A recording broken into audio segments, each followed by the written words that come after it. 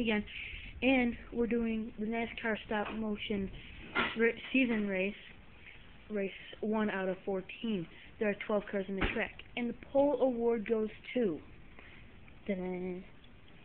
Kurt Busch in the two car.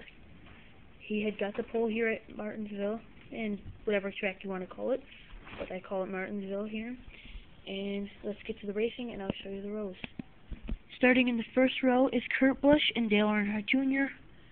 In the second row is Mark Martin and Jimmie Johnson. Third row is Carl Edwards and Sam Hornish Jr.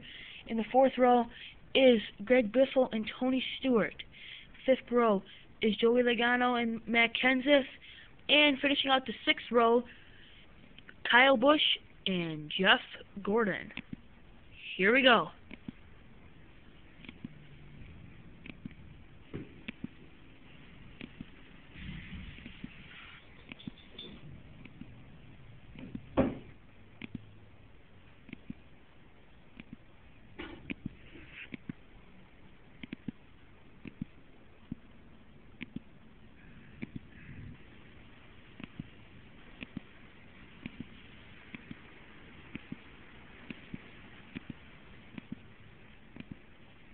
Oh, caution's out.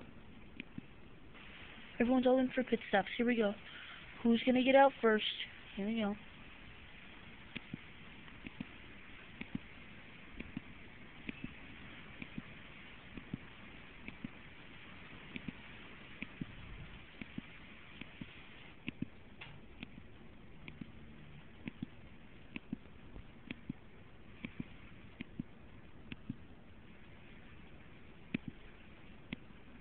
Okay, only six laps to go.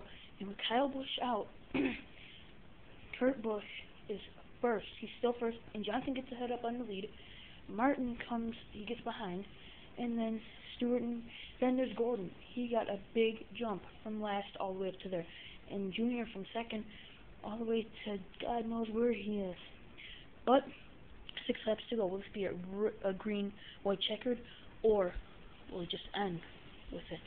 We'll see. Here we go.